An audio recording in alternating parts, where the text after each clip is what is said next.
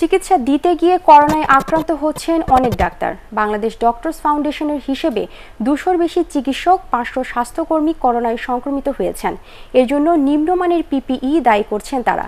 এই অবস্থা চলতে থাকলে করোনা সহ চিকিৎসা সেবায় ডাক্তার সংকট হওয়ার আশঙ্কা করছে সংগঠনটি। মাহবুব কবির চপলের রিপোর্টে।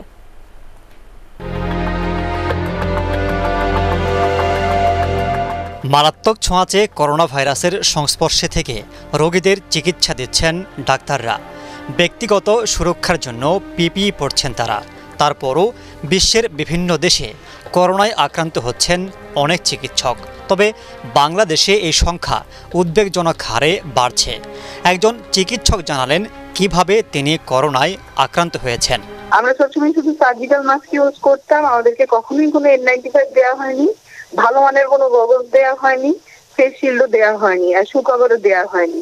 এখানে আসলে বাংলাদেশে সবাই পিপিএ বলতে গাউনটা পিপিএ জিনিসটা এমন যে একবার ইউজ করে আট ঘণ্টা পরে ওটা মানে একটা শীত শেষে ওটা ফেলে দিতে হবে ডিসপোজেবল এখন হচ্ছে বাংলাদেশে মানে এটা আসলে জোর করে এখন দেয় না কম দেয়।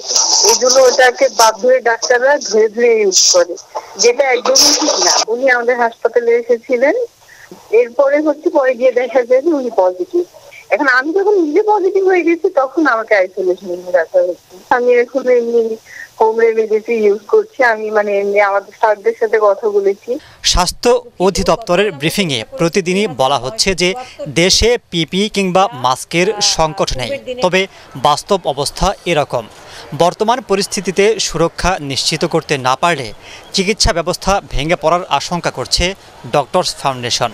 এই পরিমাণ চিকিৎসক আক্রান্ত হওয়ার কারণ প্রথম থেকেই বলে আসছি যে হলো পিপি গুলো ফল্টি পিপি।